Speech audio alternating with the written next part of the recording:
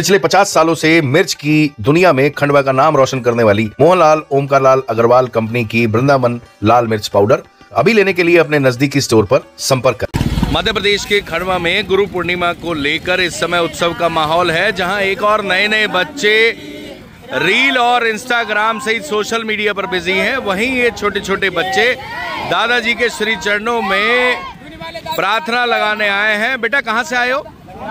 कौन से? कहाँ पढ़ता है ये? हरदा। से आए हो। कि सब के सब क्या स्टूडेंट हो?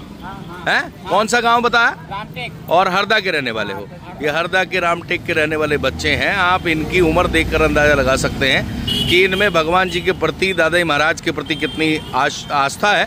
सैकड़ों किलोमीटर दूर से ये पैदल यात्रा करके दादाई महाराज को निशान अर्पित करने आ रहे हैं।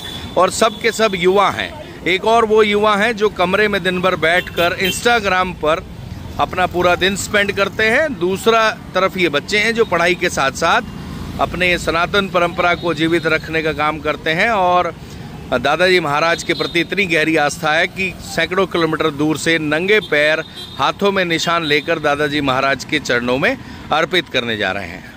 पिछले 50 सालों से मिर्च की दुनिया में खंडवा का नाम रोशन करने वाली मोहनलाल ओमकार लाल अग्रवाल कंपनी की वृंदावन लाल मिर्च पाउडर अभी लेने के लिए अपने नजदीकी स्टोर पर संपर्क करें।